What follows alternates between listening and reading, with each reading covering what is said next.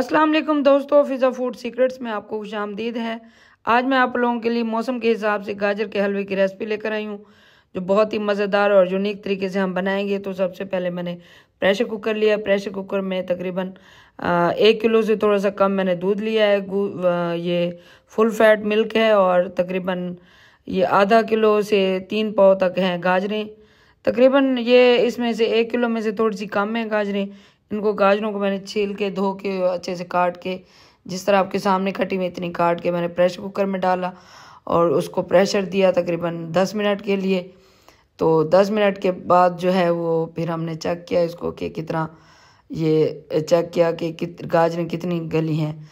तो ये देखें ये किस तरीके से प्रेशर आ रहा है और जो है फ्लेम हमने मीडियम रखी है इसकी।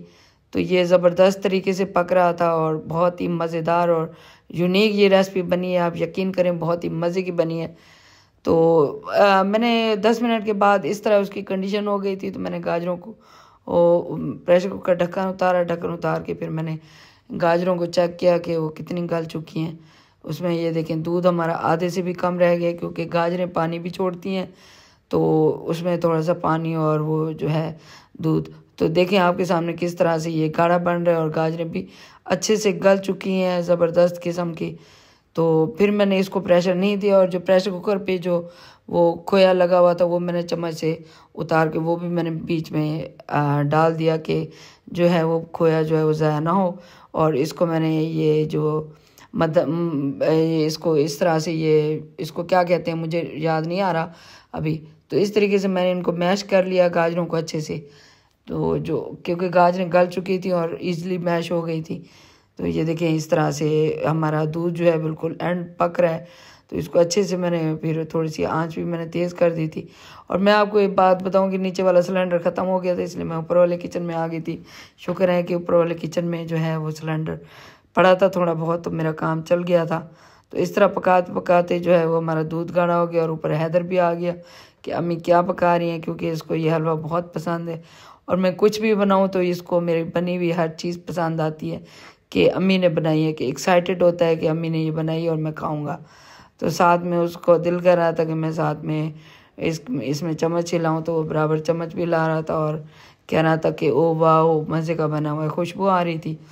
तो फिर मैंने जो है वो जैसे दूध खुश्क हुआ मैंने उसमें, क्योंकि मेरे पास घी नहीं था तो मेरे पास मक्खन पड़ा था, मैंने मक्खन डाला है तकरीबन दो तीन जो है वो करके। तकरीबन आधा पाव से थोड़ा सा कम मैंने इसमें मक्खन डाला है और उसमें चीनी डाली है, या हाफ़ कप के बराबर उसमें चीनी डाली है। और साथ में मक्खन को मैंने भुना था, भून के फिर मैंने चीनी डाली थी ताकि वो मक्खन का जो कच्चा पान है वो जो थोड़ी सी हीक होती है, वो ना रहे। फिर मैंने चीनी डाली, फिर थोड़े से ड्राई फ्रूट डाले। ड्राई फ्रूट ज़्यादा नहीं डाले क्योंकि मेरे बच्चों को पसंद नहीं है तो इसलिए मैंने कम डाले। फिर मैंने उसमें आधा पाव के बराबर खोया डाला। खोया डाल के उसको अच्छे से भुना, अच्छे से भूनते भूनते ये देखें आप किस तरह से ये जो है उसने सारे हलवे ने वहाँ प्रेशर कुकर से साइडें छोड़ना शुरू कर दी। इट्स मीन कि ये डन हो चुका है ऑलमोस्ट तो इसको मैंने मज़ीद थोड़ी देर और पकाया ताकि जो और मज़ीद अच्छे से बन जाए। तो हमारा ये देखिए कितना ज़बरदस्त सा, झटपट सा ये सारे प्रोसेस मुझे जस्ट आधा घंटा लगा है।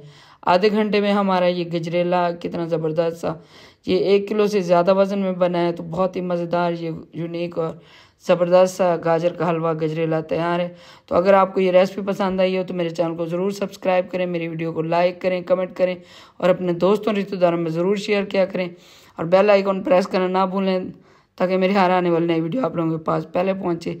तो आपको आज मेरी आज की ये रेसिपी कैसी लगी मुझे कमेंट्स में ज़रूर बताइए। तो मिलते हैं अगली रेसिपी में, तब तक के लिए अल्लाह हाफिज़।